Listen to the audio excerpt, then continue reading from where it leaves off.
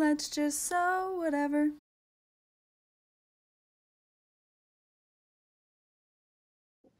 Hey guys, so today's video is going to be a little bit different. Um, and it's actually kind of a throwback to what I used to make. So I used to actually sell bow ties a lot.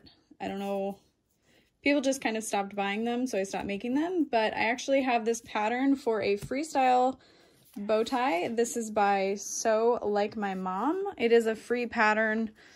Um, so I'm just going to do a video on it. What you need is probably about a fat quarter of exterior fabric. So I am using organic cotton sateen from Spoonflower.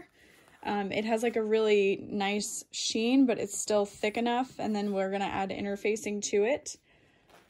Um, so first thing I'm going to do is cut out four of these from my fabric. I'm going to make sure that they're all facing the same direction. So you don't necessarily want to make one upside down, even though this piece is pretty universal. So I'm going to go ahead and cut those out really quick.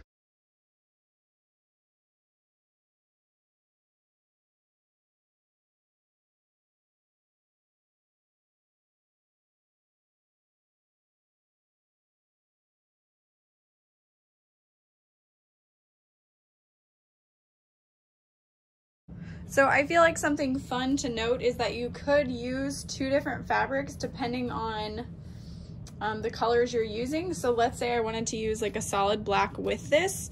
When the bow tie was tied, you would see peeps of both fabrics. So just something to kind of play around with. I am gonna just use this one fabric for both sides though. All right, so I've got all of my pieces cut, four total. So now I'm going to interface one side with interfacing. So this says to use a total of four pieces. However, um, this fabric is pretty thick on its own and I would hate for it to get even thicker. So I'm just gonna interface one set. So I have four total of these pieces and I'm just gonna interface one set.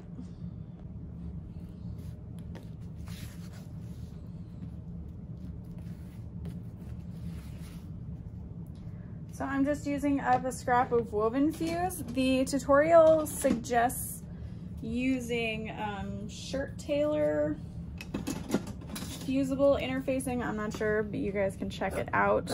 Um, so I'm just gonna go ahead and use this and just block fuse it really quick using my heat press.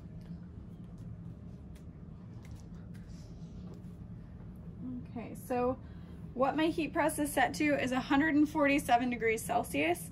I have this Teflon sheet here to protect the hot plate from any interfacing and then this is cleanable. So I'm gonna go ahead and press it for just a few seconds. And then I have this um, attached using magnets. Peel that off and then press the other piece. Again, you just need a couple of seconds.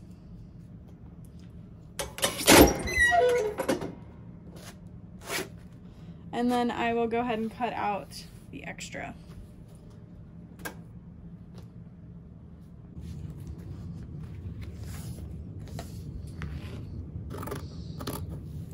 And I'm not gonna go like super careful with how close I cut this, just because when we sew it together, it's, um, it's not really going to matter too much. When you put right sides together, it's not gonna hurt to have just that little bit of extra interfacing showing in your seam allowance.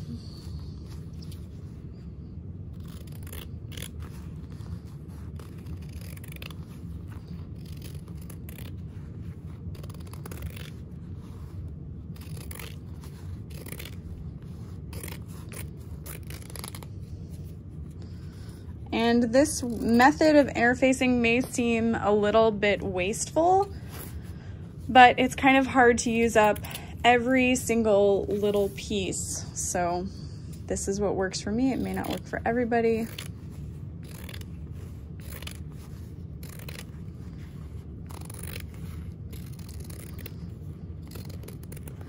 Um, I'm going to be using my domestic Juki sewing machine to put this together. Um, you could honestly use pretty much any domestic sewing machine. You wouldn't have an issue because the layers aren't too thick.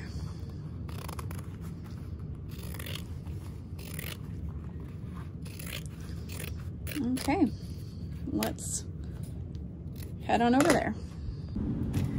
Okay, I am starting with right sides together, matching up the sides, and I'm gonna sew with a half inch seam allowance along the short end. Keeping my interface pieces together and my non-interface pieces together. And then I'll use my iron to press these open really quick. Okay, and then I'm gonna lay right sides together and clip. I'm gonna lay it on my disgusting ironing board because my iron is the devil and is leaking everywhere. It's okay, there's plenty of replacement. So I'm just gonna use these hair clips to clip around the entire thing. And while you're sewing it together, you're gonna wanna leave an opening that is about two to three inches along this area. And that will be our turn hole. So it may help you to kind of use a washable pencil or something like that to mark out where you need to leave it open. Okay, I'll clip together. Okay, and I'm starting this little spot here. And I'm gonna move down a few inches. So that's my turn hole. And then use about a quarter inch seam allowance.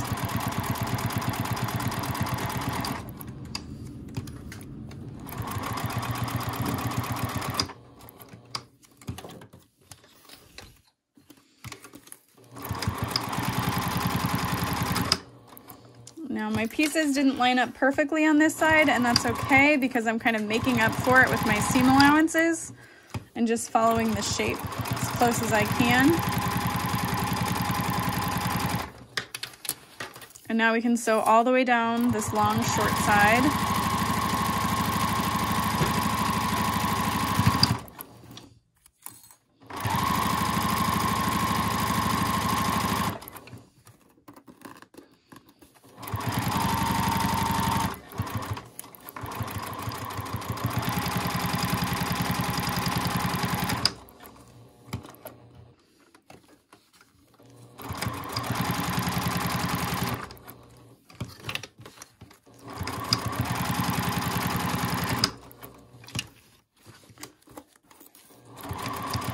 I'm just adding little back stitches on the seams that will have a little bit of stress while turning and poking through.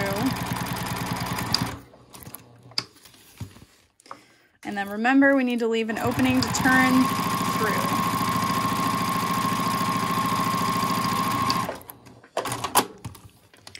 So I left quite a wide opening. I probably didn't need to, but we're just gonna sew it up in the end, so it's okay. Um, so now I'm going to use pinking shears to clip my seam allowances. Okay.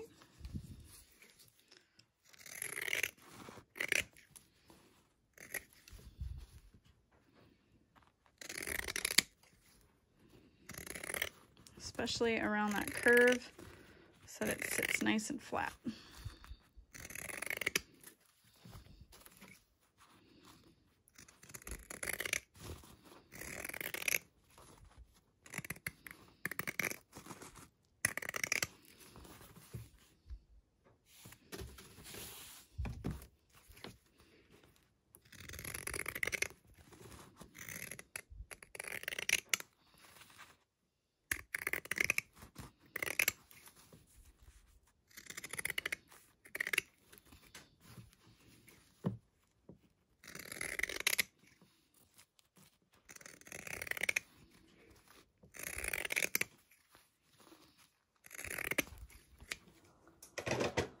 And for the rest of the seams, you can just use straight scissors.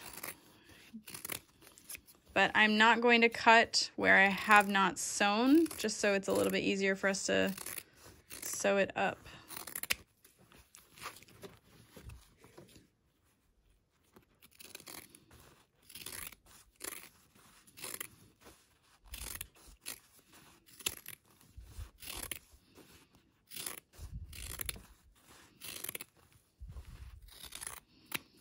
Okay, so now we're ready to turn it.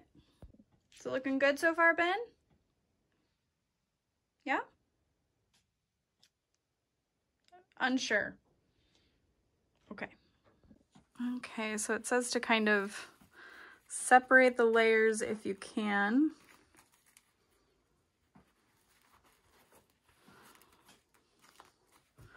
And then you can use a little turning tool. I'm using this tool here. My friend Anne sent it to me. It is super awesome. You can use either this curved end or the straight end, whatever seems easier to you.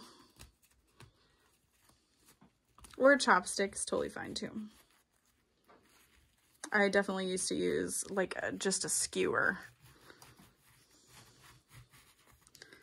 I'm just trying to shimmy through.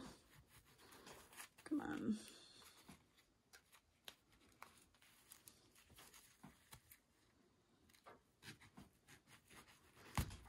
All right, I'm gonna go ahead and time lapse this because it could take me a minute.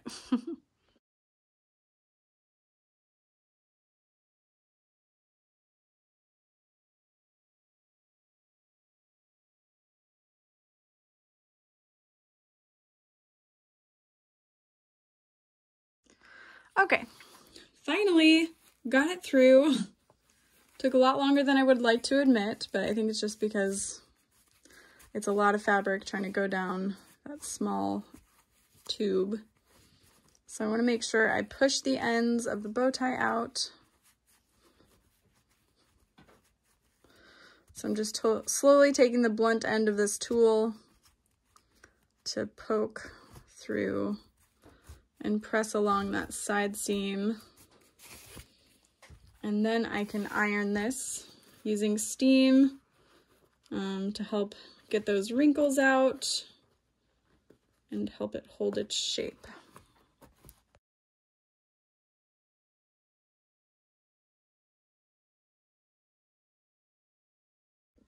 Okay, so now that it's nicely pressed, I went ahead and tucked in the end that we turned through. And then we're going to top stitch that and then it's pretty much done other than trying to repress it to look a little bit nicer. Um, I have absolutely no idea how to tie these. I did at one point, but after a while you, you know, you forget those kinds of things. So let's sew it up and be finished.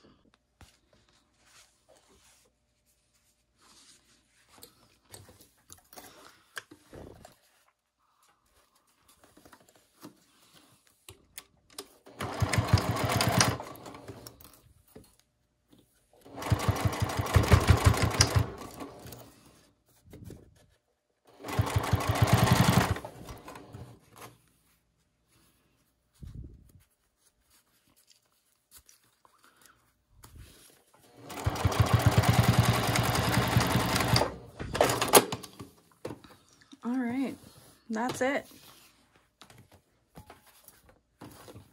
Now this bow tie can go off to its new home.